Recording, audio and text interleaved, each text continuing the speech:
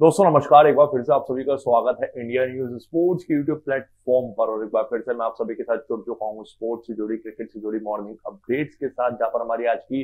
पहली और सबसे बड़ी मॉर्निंग अपडेट है वो इंडिया और ऑस्ट्रेलिया के बीच आज तीन मैचों की टी ट्वेंटी सीरीज़ की जो है शुरुआत हो रही है मोहाली के मैदान पर जो है मुकाबला खेला जाएगा, जहाँ आखिरी बार ये दोनों टीमें 2016 में मोहाली के मैदान पर जब भिड़ती नज़र आई थी, उस दौरान भारतीय टीम ने जो है बाजी मारती टी ट्वेंटी विश्व कप का वो मुकाबला था। जिसे सबने वर्चुअल क्वार्टर फाइनल भी कहा था, उस मुकाबले में भारतीय टीम ने जो है बाजी मारी थी और विराट कोहली की नबाद पारी निकली थी उसमें बयासी रनों की और उस तरह का प्रदर्शन एक बार फिर से भारतीय फैंस चाहेंगे कि विराट कोहली से देखने को मिले और जिस तरह का प्रदर्शन हाल फ़िलहाल में इंडियन टीम से रहा है, विराट कोहली से देखने को मिला, उसी तरह का प्रदर्शन जो है भारतीय टीम आज के मैच में जो है करती नज़र आए क्योंकि टी ट्वेंटी वर्ल्ड कप के लिए खास तैयारी जो है इन मैचों में जो देखने को मिलने वाली है इन तीनों मैचों में जिसका पहला मुकाबला आज 20 सितंबर को हो रहा था, वही दूसरा मुकाबला 23 सितंबर को होना है, जबकि तीसरा और जो इस सीरीज़ का निर्णायक मुकाबला भी हो सकता है, क्योंकि दोनों ही टीमें देखें तो काफ़ी चैलेंजिंग वाली टीम है। दोनों की टीमों की ओर से प्लेयर्स की ओर से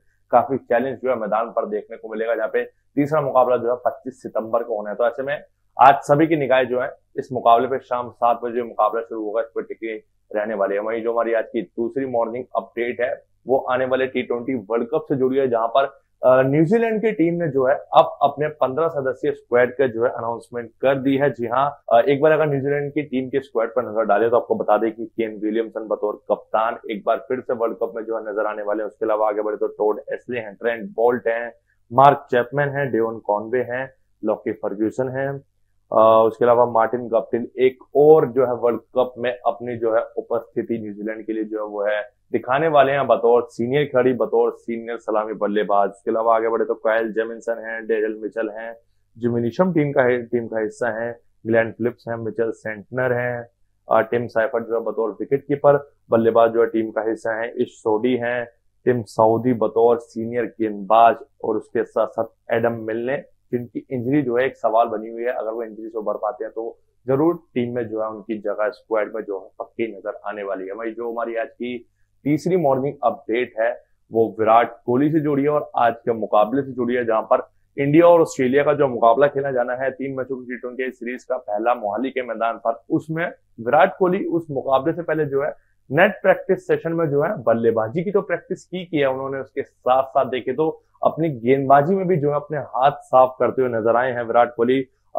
इस, हम सब जो है अंदाज़ा लगा सकते हैं कि मुमकिन है आज के मैच में जो है, विराट कोहली हमने उन्हें पिछले साल टी ट्वेंटी वर्ल्ड कप के वार्म अप मैचेस में भी देखा था, विराट कोहली गेंदबाजी करते हुए नज़र आए थे। और एक बार फिर से प्रैक्टिस सेशन के दौरान जो है, विराट कोहली गेंदबाजी करते नज़र आए तो मुमकिन है कि विराट कोहली एक बार फिर से गेंदबाजी करते हुए हमें लाइव मैच में जो है इंटरनेशनल मैच में गेंदबाजी करते हुए देखेंगे और वो पॉसिबल हो कि वो आज के मैच में ही नज़र आ जाए विराट कोहली की गेंदबाजी। वही जो हम बड़े अपनी आज की चौथी मॉर्निंग अपडेट पर, चौथी मॉर्निंग अपडेट हमारी इंग्लैंड और पाकिस्तान के बीच खेली जा रही सात मैचों की टी ट्वेंटी सीरीज़ से जुड़ी है, जिसका पहला मुकाबला आज खेला जाना है। और इस मुकाबले से पहले देखिए तो इंग्लैंड मेहमान टीम को जो बहुत बड़ा झटका लग चुका है, जहाँ पे कप्तान जोस बटलर जो है वो इस पहले मैच से पहले जो है इंजर्ड हो चुके हैं। ऐसे में देखिए तो 2005 के बाद की टीम अब पहली बार कोई सीरीज़ के लिए जो है पाकिस्तान का दौरा कर रही थी, लेकिन उसकी शुरुआत से पहले इंग्लैंड की टीम को बहुत बड़ा झटका लग गया। जोस बटलर जो है, अपनी शुरुआती कुछ मैच जो है वो खेलते नज़र नहीं आएँगे। तो अब सवाल ये होता है कि उनकी जगह कप्तान कौन बनेगा? तो आपको बता दें कि कप्तानी का मौका इस दौरान जो है मोइन अली को मिला है।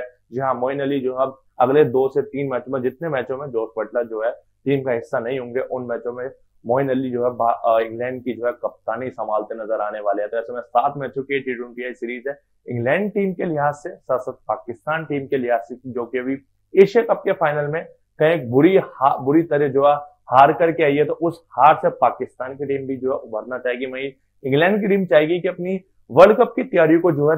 जारी रखे और, और सीरीज़ जीत के साथ जो है वर्ल्ड कप में अपनी जो है एंटर करे। तो फ़िलहाल के लिए आज के मॉर्निंग अपडेट पे इतना ही। अगर आपको ये सभी अपडेट पसंद आई हो तो इस वीडियो को लाइक ज़रूर करें। और अगर आप इंडिया न्यूज़ स्पोर्ट्स के चैनल पर नए हैं तो चैनल को सब्सक्राइब करना बिल्कुल भी ना भूलें। नमस्कार।